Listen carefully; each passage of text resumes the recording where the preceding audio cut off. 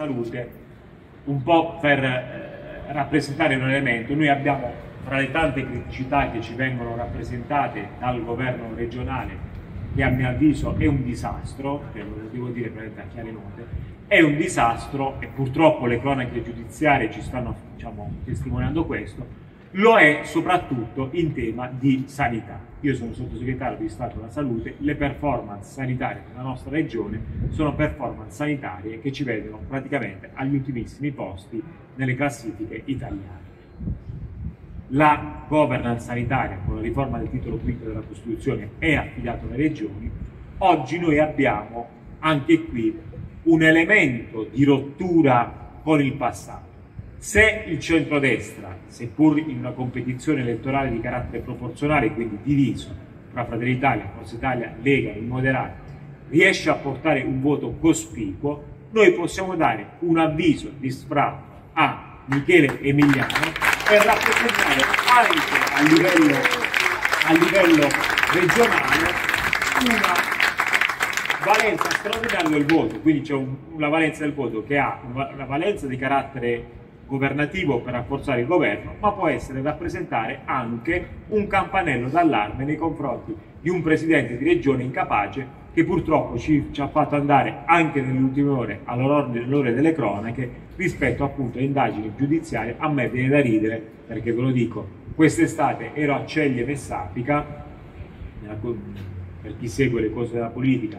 in quella agorà che si chiama La Piazza, ero lì e mi fanno una domanda, ma secondo lei eh, perché la sanità in Puglia va male? E io dico, guarda, perché va male? Perché se c'è una gestione clientelare della sanità,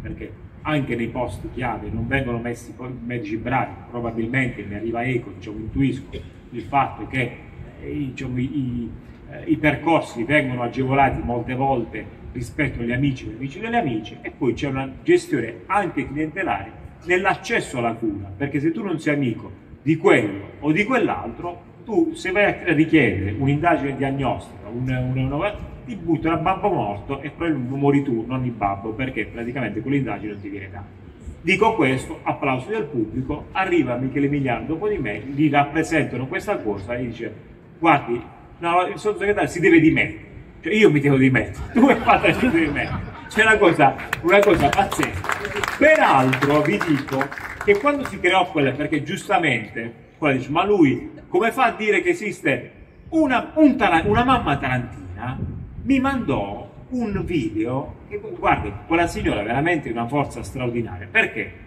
aveva il figlio malato di tumore e praticamente incontra Michele Emiliano che andava come il Papa, no? salutava tutti, qua, e quello dice, eh, Presidente, io ho mia figlia che c'è il tumore e non riesce a fare questo, questo e quest'altro, come devo fare? Come è tua figlia? Non riesce a fare grosso, non riesce a fare la loro, ma come? È impossibile. Ma eh, prenditi il mio numero, prendi il mio numero, basta che mi chiami e te lo risolvo. Quella mamma ebbe la dignità di dire, Presidente, io il suo numero non me lo prendo, perché io non devo avere, perché raccomandato da lei, perché come mi, mia figlia ci sono tante mamme che hanno il tumore e non devono raccomandarsi a lei allora mi hanno mandato questo, questo coso, e guarda che primo, la prima gestione clientelare la fa proprio Emiliano, che dice alle persone prenditi il mio numero, avvisati a me che ti faccio saltare la coda. E la mamma Tarantina ebbe, guardate, una dignità straordinaria, perché rispetto a tua figlia che è malata di tumore, evidentemente ha dei problemi che io non oso neanche pensare da padre se si ha quel tipo di problemi, ha avuto la dignità di dire guarda, io non accetto il suo numero, nella mia condizione ci sono centinaia di mamme come me, non voglio favoritismi da lì voglio che la, la sanità pugliese realmente funzioni. Concludo. Noi, proprio per questo, dobbiamo votare Fratelli d'Italia, dobbiamo votare i nostri candidati, dobbiamo dare l'avviso di sfratto a Michele Emiliano, dobbiamo rafforzare il governo Meloni, dobbiamo continuare ad essere comunità, dobbiamo continuare a vincere. Viva Taranto, viva i nostri candidati, viva Giampaolo, viva Giovanni, viva Enrico, viva, viva Tiziana, viva tutti quanti noi, ce la faremo anche questa volta, grazie.